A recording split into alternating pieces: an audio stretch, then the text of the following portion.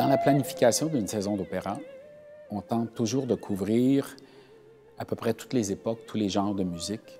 Et c'est le cas dans cette saison-ci.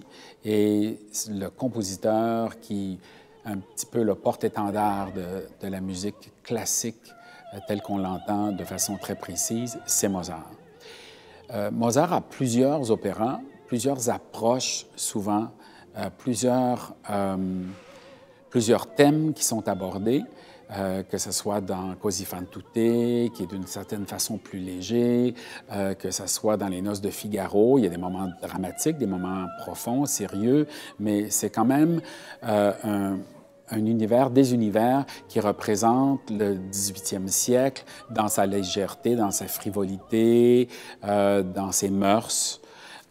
tandis que lorsqu'il a approché le Don Juan, le Don Giovanni, il y a une dimension dramatique, tragique dans le personnage qui fait de cette œuvre-là euh, une œuvre exceptionnelle dans le répertoire, dans les compositions de Mozart. Déjà dans l'ouverture, il y a quelque chose de très dramatique. Il approche finalement, d'une certaine façon, le romantisme dans cette œuvre-là.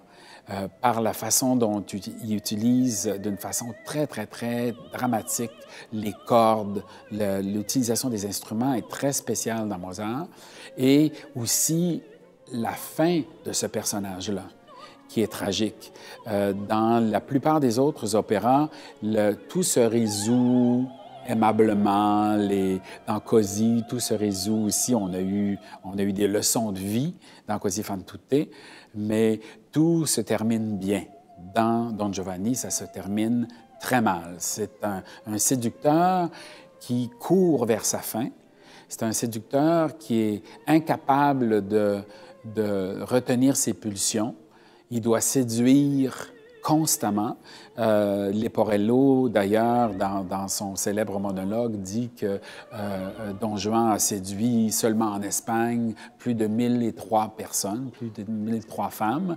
Donc, on sent que c'est un, quelqu'un qui est complètement dépassé par ses appétits amoureux.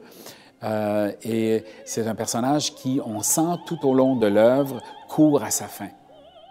Et finalement, c'est le commandeur qui l'a tué au début de, l'œuvre qui vient le hanter. Et c'est finalement tout le, côté moral que prend le rôle du commandeur dans sa résurrection à la fin qui, vient qui l'amène finalement dans, les abîmes de l'enfer. Alors c'est une œuvre qui a un caractère beaucoup plus sombre que les autres et avec un trajet, une trajectoire beaucoup plus tragique que les autres.